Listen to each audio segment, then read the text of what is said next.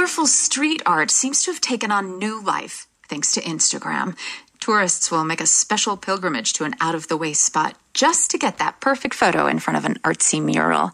Scott Haskins is the guy cities call when graffiti, pollution, or weather damage an iconic street mural.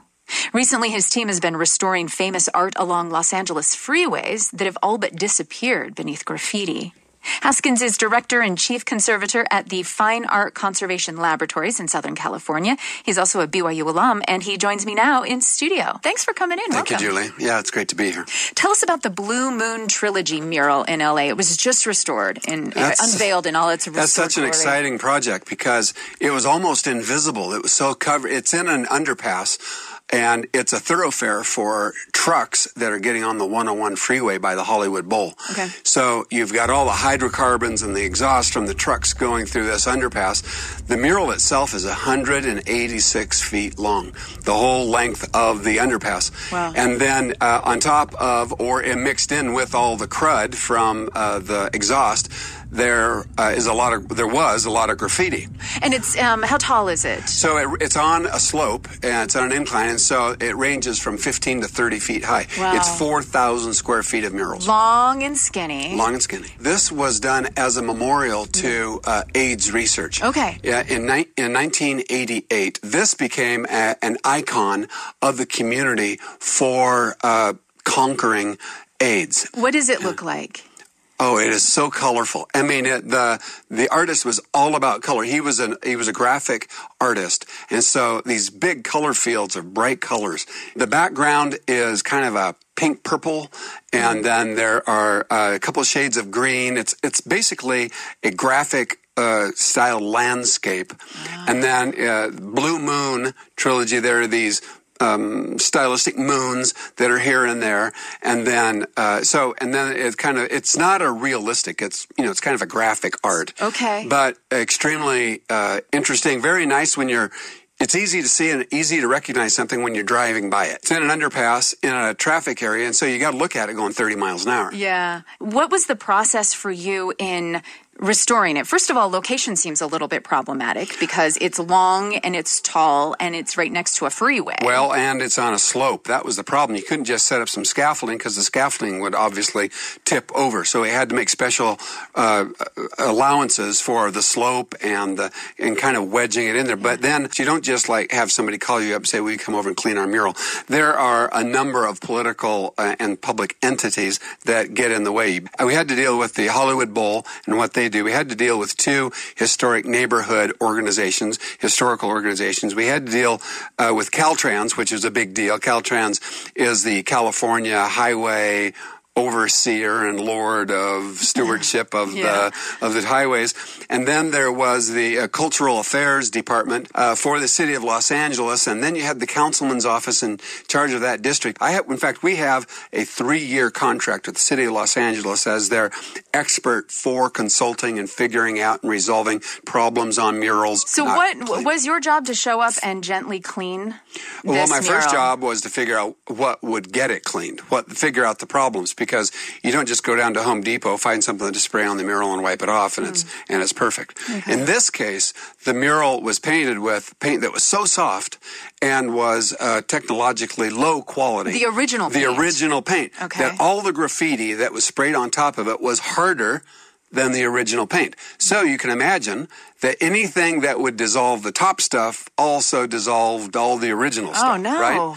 And so that was a real difficult problem. In the middle of all this, you also had the family. The family of the artist has rights. In the state of California, there's a, uh, there's a, a law called VARA, and it uh, and it affirms and protects the artists for their rights for public art. Okay. And so the family had all the rights. They the artist say, had passed away already he- Yeah, the, uh, he died of AIDS. Oh. Uh, but the family had reaffirmed their rights in his behalf Okay. and still owned the copyright for the mural. So if I if I did any changes at all on the mural, change the color, change the composition, they could sue me, sell, sue the city, sue uh, Caltrans. There could be lawsuits so galore. you had to re because you couldn't just clean it you had to go in and recreate it? Well, we did in this case, but you know, I've never done that before in my career. Wow. And the fact was that the sit that the family wanted the mural to be the exact same composition as the original artist and wanted the colors to be the exact same colors. Well, the problem is that there had been previous restorations where they had repainted areas of the mural. So you didn't even know And what now- the original colors were. Exactly. And then in addition to that, the color, the paint was such a lousy quality that there were areas of the mural that had had a lot of sunlight and faded. So you had parts of the mural that were faded out. You had parts of the mural that were painted the wrong color. And then you had some parts of the mural that were going to be irretrievably damaged because they were so softly painted. And, you know, what And, were we and supposed were to you working? Were you uh, rebuilding it from photos? That how, how did you even know what it looked like yeah, originally? uh, the partner of the original artist had photos when they finished the mural. Oh. And so, but we could have painted the mural based on the original design because once we kind of got things cleaned and we worked through You it, could at least we see could the see the composition, we could see the colors. We did color tests, uh, very you know uh, a battery of them to make sure that we were dialed in perfectly to the right colors. We brought in the family, made sure that everything was just exactly perfect, and then uh, to, in order to make it look. It basically return it to the artist's intent. We repainted the whole thing with super high quality materials, and then we put a bulletproof varnish over it. A bulletproof Yeah, varnish. to to protect it. so it graffiti from, will just roll off of it, or can that, just be wiped off? That would be in another dimension. Oh, yeah? Uh, but uh, it, but with the graffiti it hasn't been tagged yet. But it, it, when it's retagged, we should be able to wipe it off without damaging the original mural. Scott Haskins, how did you become a mural? Rest, rest, re- it's not the only, the only thing you do, but it's one of your areas of expertise. It's one of how our areas of expertise. Well, uh, I was always interested as a kid. I was interested in science and I was interested in art. Hmm. And then uh, I happened to be at BYU uh, for a semester because I had gone to Italy uh, for uh, uh, previously for a mission for the Church of Jesus Christ of Latter Day Saints. And while I was taking an art history class, uh, the chairman. Uh, Mark Hamilton said, "Well, since you're interested in science and you're interested in art, why don't you get into art conservation. I said, well, what's that? And he says, well, it's the application of science to the preservation of art. And I went, wow, that's perfect. And it was like, I never thought of anything ever again other than art conservation. Well, I applied to art conservation master's degree programs in the United States, and I, I was put on a three to five year waiting list. And so I had been to Italy, and I called a person that I knew, and I said, "Hey, in your town, there's a a, a federal program or a government program for the restoration of artwork. Would you get me some information about that?" And she calls me back the next day and says, "You're in." And I said, I'm in what? And she says, You're in the school. I said, What school? And she says, In the Art Conservation Center. I said, I haven't even applied yet. And she goes, Well, and it turns out she was the ticket taker at the local opera house. And everyone in, not in just the city, everybody in the, in the whole sit, county of this city, were, were beholden to her to get tickets to the opera. Yeah. She says, Well, I know the mother of the director of the Conservation Center. She owed me a favor. You're in. I said, Wow, that's fantastic. So uh, that year, uh, I moved to Italy, and the very first week of school, I was on scaffolding, nose to nose, with a mural that was dated 1365 in a monastery that was 800 years old. And I went, my, I mean, mind blow, boo! And I and I said, "This is this is it. This is this is the greatest. This is the greatest thing ever."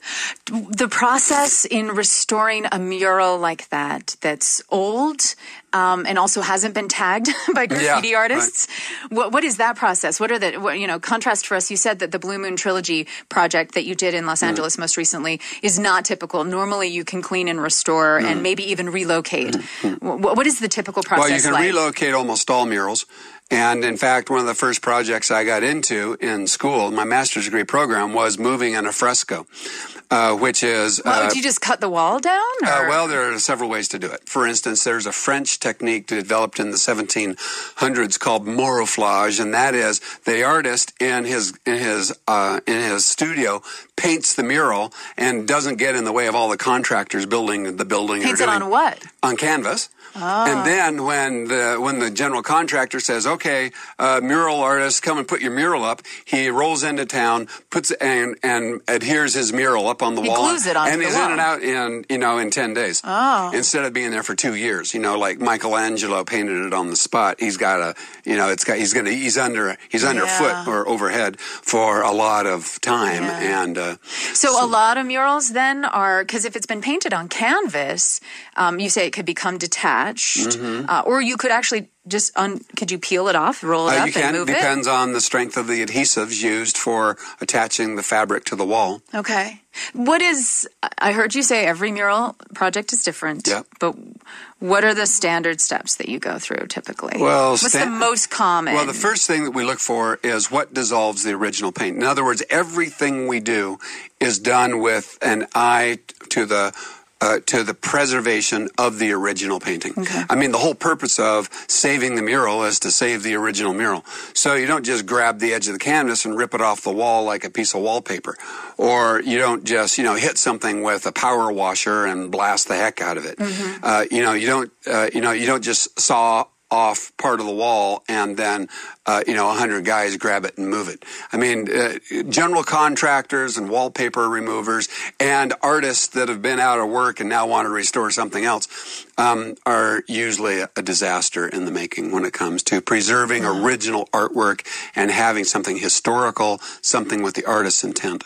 There was a uh, earlier this year a mural that you were called in to work on um, by a pretty famous artist in, in Houston. So this Oh, was yeah. a building that was damaged during the hurricane, Hurricane right, Harvey. Hurricane Harvey. Tell yeah, about that, was project. a wonderful mural. It's an extremely important uh, uh, civic uh, civil rights mural. His name is John Biggers, and it uh, the title of it is. Uh, contributions of Negro women to you know our society, and it's just a wonderful, wonderful mural. While it And it was indoors. It was a- on the indoors, wall of, right, a, of yeah. a community Exactly. building. What was the need for you on that Oh, project? well, in this case, uh, it was being being eaten alive by mold, and the because of the hurricane. because of the hurricane, and, and and- the roof was dripping or something. Right, and then the plaster had absorbed the water like a sponge, and you could actually take your finger and push it in on the plaster. So there were some real, uh, very difficult uh, technological things that we had to deal with. Was this mural on canvas? no, this mural was directly painted on the plaster. Okay, so when when you can't take it off, what I mean, what what could you do in that case to Well, we had to fix it? stabilize the original paint. I mean, we, I mean, in my life, I've you know taken very few murals off of walls because the the first choice is to leave it on the wall in the location where it was painted. Because that's the, the I mean that, that's, That's where part it was of the intended artwork, to be. right? Well, it's part of the architecture. yeah, and It's and, part- and and its meaning it was intended for that spot. So if you move it, then to some extent you're changing the art. and you're also kind of removing a historic piece of the building, Mm-hmm. which, of course, from a historic preservation standpoint, is wrong. yeah. Okay, so so the process in terms of stabilizing, Right? you use that word, what does that do. mean? Uh, well, stabilizing means is the, the is the plaster popping off? Okay, you need to stabilize that. You can do injections into plaster layers. If the paint is peeling off the plaster, then that also needs to be stabilized, and you can absorb adhesives into the paint layers to make sure that they're stabilized. Because obviously, if they're lifting, you can usually get something in underneath them. If the can if it's a painting on canvas that's been glued to the wall and the canvas is detaching, of course, that needs to be stabilized. So there's a number of And uh, then you start the the um, the fixing, the, the well, two- restoration. yeah, that's an excellent point because uh, re- the art conservation, which is the professional pr- way of talking about our field, is made up of two things. One is the preservation of the artwork, and the other is the restoration of the artwork. And preserving it, you can stabilize everything and still have it look awful. But then you restore it to bring it back to the proper look or to whatever uh, the uh, the need requires. And what does that entail? I mean, because you maybe you can't find the original paint Well, anymore. we don't even look for the original paint. See, uh, we look for paint that doesn't change color with time and is uh, ultimately reversible or redissolvable in the future without damaging the original paint. So, for instance, this is a, uh, uh, something that your listeners are going to be surprised to hear. We never use oil paint. And uh, oil paint dries as hard as a rock and shifts in color. And then when you try to dissolve it and take it off, you usually end up damaging the original paint underneath. Wait, why would you want to come in and restore something in a way that could be reversible? Like, why would you use paint to make it look better, but also with the idea that someone down the line would take it off? Well, what if there's a fire and it gets smoked or it gets tagged again, or there are other things that happen in the future and it has to be re restored? Well, they may want to take off what we did. Oh. And so that reversibility allows us to bring it back to gorgeous, bring it back to original layer, Yeah. and then readdress the new the new restoration needs. So when you go in with the restoration plan, do you actually repaint every every But inch more, of but, the but paint? it's, no, no, not every inch. We we don't repaint paintings. We it's more of a color matching. You're just in- filling in the holes where the paint has exactly. gotten In all my years, damaged. I've never had to repaint somebody's face or repaint a tree. It's a very small brush, and we just dot dot dot color match, and it's a technical process. There's and that's another thing is people have often said, "Well, you must be a great artist." Right. Well, I've never painted a painting in my life. You haven't? Never, ever. And that's because I'm not an artist. I, my, my field of art conservation uh, does not involve any creativity whatsoever. When you have a mural by Minerva Teichert, you want the mural to be signed Minerva, Minerva Teichert. You don't want Minerva Teichert and Scott Haskins signed at the bottom after I've repainted the thing. That would be awful. Yeah.